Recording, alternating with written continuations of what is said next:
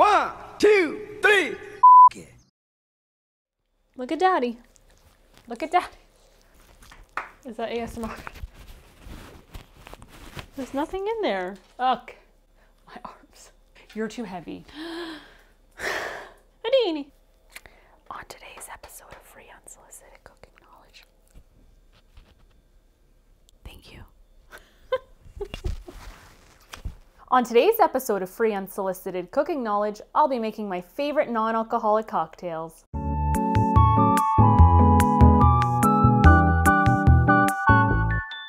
Welcome back, my little spoons. I just wanted to say thank you for your support along my YouTube journey. If you haven't subscribed, please hit that subscribe button. Every time I post a video, I'm getting closer to my goal, and it means the world to me that you are subscribing and watching. And thank you for being kind and laughing at my failure in my last video, my homemade Cadbury cream eggs. Today's episode is a little different because I'm actually celebrating a huge milestone in my personal life, and that is one year of sobriety from alcohol.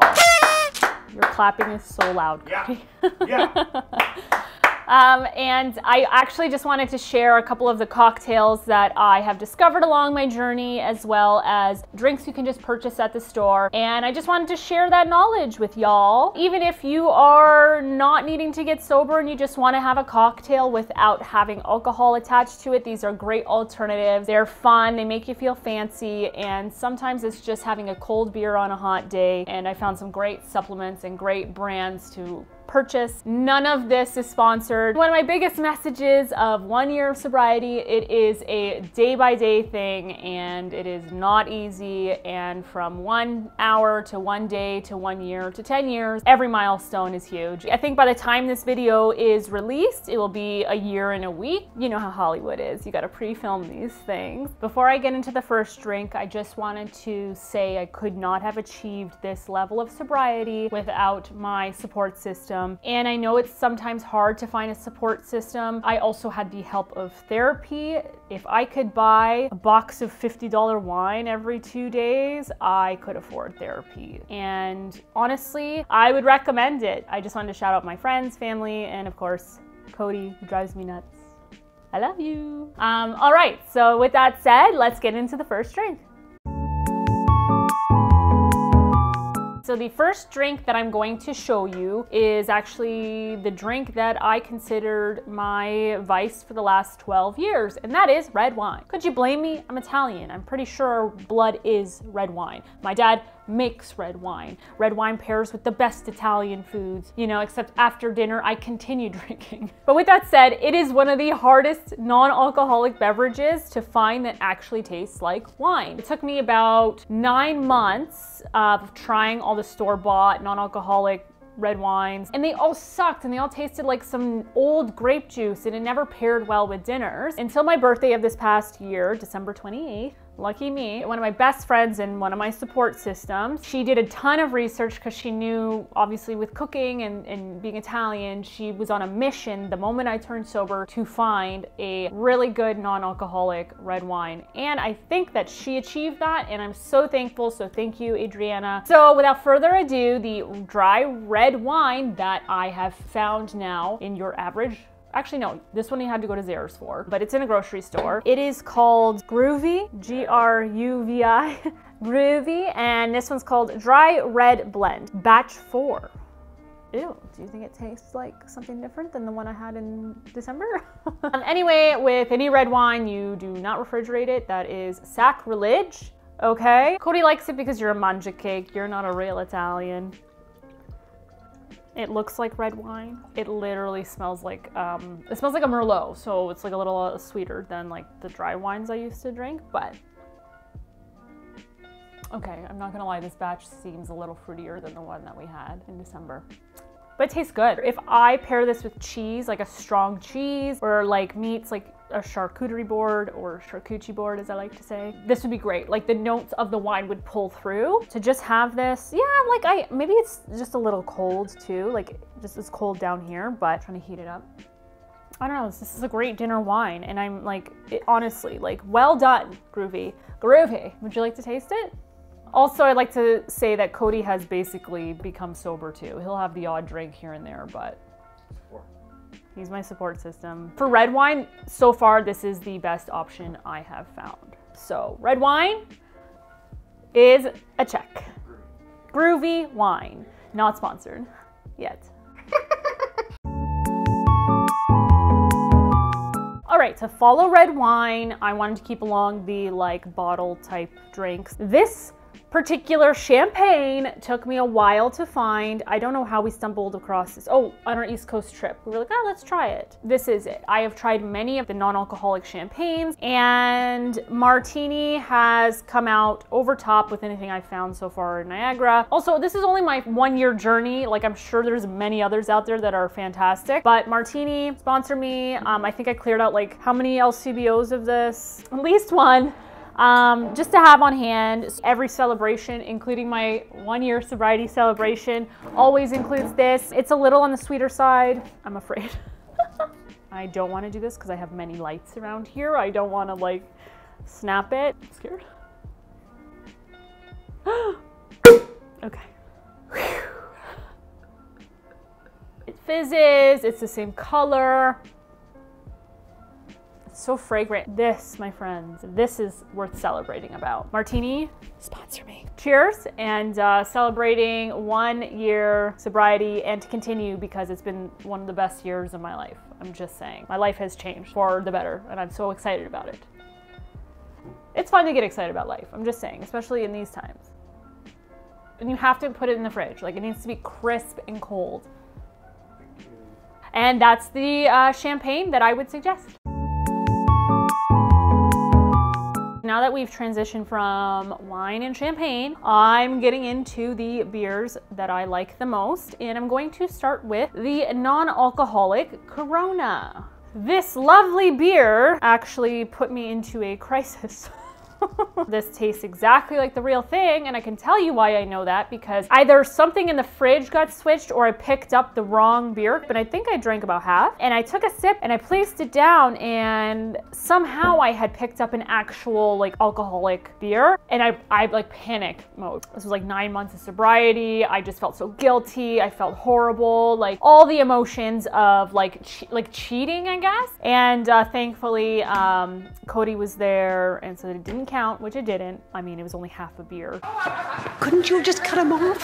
He only had half a beer. As soon as I realized, I stopped. But that goes to show that 0% Corona tastes like the normal Corona. So if you're looking for a cold beer, I mean, I know it's a light beer and it's not like a full bodied beer, but if you're looking for like a nice cold beverage on a hot summer day that has zero alcohol, Corona is the way to go. So one thing I learned is you roll out the lime to get the juices going. And yes, I washed it. Everyone calm down. There we go. Look at that. Ah. I'm not putting on a bikini, Cody. uh, yeah, with like the freezing cold second winter we're getting. I squeezed as much as of the lime juice I could in there. Um, my thumbs aren't big enough to do that thing that Cody does. On camera. Ooh, yeah, I got tiny little guys. Tiny little thumbs, thank you. Um, all right. A source of vitamin D. See, your mood shoots right up without the alcohol, right there. If you are trying to get sober, uh, just pay attention to the labels. that was a lesson I learned. So, but kudos to you, Corona, not sponsored yet. So this next drink is my all-time favorite drink. This is what truly helped me through my first year of sobriety. Partake, please sponsor me. It is a Gose, Gose, Gose. I'm not German. Just say. Okay. You want to try and pronounce it? Okay, so it's a peach gose and gose Gosa is how it's pronounced. and I guess gose is a type of sour beer, which I love. Great summer drink. Um, but I found this and partake well done. Their blonde is really good. Their IPAs are good. Their pale ales really good. Like it is the best all around for its flavor, the calories. I would say price. Well, I mean, 10 bucks for four. A little trick that I love to do is I like to get my beer mug, I like to rinse it and put it in the freezer because everyone loves a cold drink. So we're just gonna go ahead and pour that. There we go. Oh dear, look it, it fits it perfectly. It's like a little treat at the end of the day. I like it. It's just so good. It's just like, cheers. This is, now this is, this is a summer drink. And you can put this on ice. I've also done that. It's so good. Anyway. So for this next drink, I actually have not tried this. I saw it in the store and I thought, you know what, I'm gonna feature it on today's episode, and that is a mojito. Okay, so I put four ice cubes in that. I have a few mint leaves. I'm going to rub it in my fingers. Don't have a, I don't, unfortunately. And a squeeze of lime. I'm gonna mix, mix, mix. Now the moment of truth on this canned mojito. Again, I just bought it at the grocery store. I didn't go anywhere special to buy it. Um, anyway, very chemical. it's not a mojito, but it's like an herb. Atticus. It's an herb flavored drink. Like I feel like can't put my finger on it. They put spearmint in it and peppermint. It's earthy. It's not bad, but it's earthy. Taste it. You're not gonna like it, but taste it. it's not a mojito. I think if I had some extra simple syrup, maybe it would look taste good. Oh yeah, not a fan, eh? Too earthy. Yeah.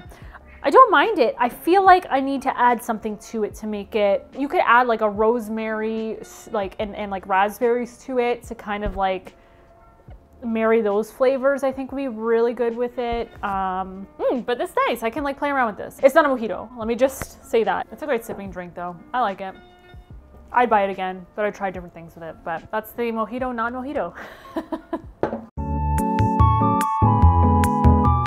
Now we're entering into my favorite of cocktails in general, even when I wasn't sober, and that is gin. Gin was always like that drink for me. I love Empress gin, probably my top gin um, because it has a lot of floral flavors in it. But this gin I have actually never tasted before. We found this little like mocktail store. It was like in a little hole in the wall in Union Station, um, and they had many non-alcoholic drinks from rum to whiskey to gin. And this one kind of caught my eye. This is non-alcoholic spirits, but it's 0.5% alcohol. This is a very floral forward gin, which I'm really excited to taste. So I have my little glass. I know it's a, a Sailor Jerry cup, but I just like the size of it. And um, again, I froze it and then I just have my little square ice cube in there. And this one I'm gonna do like a simple one shot over ice. There we go.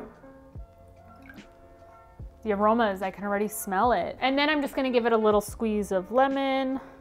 Oh, my ice cube got stuck. So cheers. Interesting. That, that is not what I expected from that. That is so good.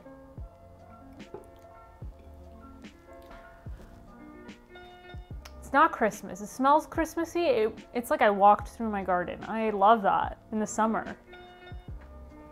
Taste that. You're like, it's not my drink. like I taste like oddly like celery? Cucumber. I was like, it was something. Where? Ah, that's. Rose, hibiscus, eucalyptus, violet, that's the other one. Organic cucumber, juniper berries, yeah, elderflower. It's so good. Yeah, I was like, what is that? It's cucumber. See? Yeah, like the extra tonic to add like another layer to it, but like that's like a nice refreshing after doing yard work, like sit on my back balcony in the evening, have a nice like shot of gin over ice or like gin and tonic. Oh my gosh, the possibilities. Wow, I'm so glad I bought this. Don't know why I didn't read the label. I just saw it was pretty and I saw juniper and I was like, hell yeah. That's the drink for me. This is Lily approved.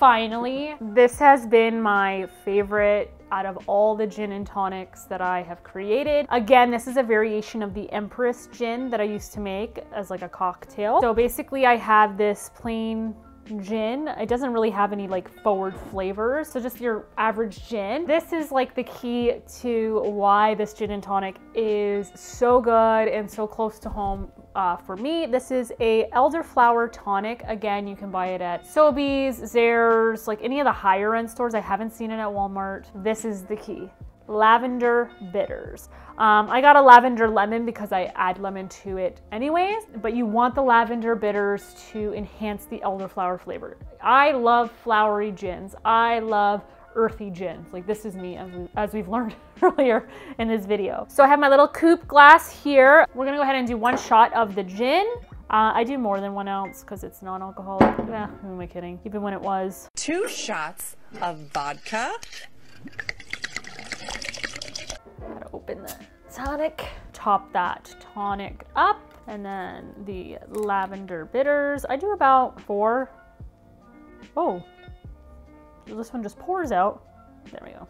Ooh, that's fragrant. And then just a squeeze of lemon. And to top it off, I garnish it with a lemon peel and a frozen blackberry. Um, because the blackberry is frozen, it kind of acts as like a little ice cube. I was like, I can't think of the name. And that's my famous gin and tonic cocktail. It's so pretty. With my little horsey decal. Mmm, so good. It does not taste like Empress. I just thought I'd let you know that. I'm still on my journey to making the perfect Empress dupe. Yeah. You feel fancy? Um, so yeah, cheers to gin and tonics. And there you have it, my little spoons. Seven different drinks that you can try. Basically, the combinations are endless. The game is changing for non-alcoholic beverages. I'm happy I made this decision. I am here living my best life, I guess, or trying to. I'm determined to do what I love and I'm not gonna let some silly thing like alcohol drag me down anymore. You can get creative with it, which is so fun. And uh, hopefully I inspired you with some of these mocktails today. I look forward to continuing my sobriety. I would be lying if I said it was easy. It definitely wasn't. And I'm happy. And I'm happy to be here for you, little spoons. I don't know. Life's exciting. That's all I can say. Right, Cody? Cody's eyeing all the drinks he wants to finish. Thank you, my little spoons, for sticking around this long in the video. I just wanted to say if you or anyone you know is suffering with addiction or mental health problems, there is an access line here in Niagara. It's accesslineniagara.com or you can call 1 550-5205. If you are not within the Niagara region, I will post links down below. Remember, not all addiction is the same for everyone and it looks different for everyone. So just a bit of encouragement. Um, harm reduction is just as helpful. And yeah, I, you know, maybe now is the time to start your life, your new life. It's exciting. Didn't think I'd be here in a year. Um, with that said, yeah, addictions. All right. See ya.